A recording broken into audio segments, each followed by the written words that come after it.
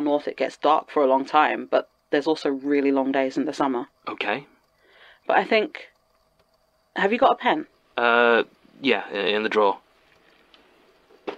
Uh, Jon, what's this? Hmm?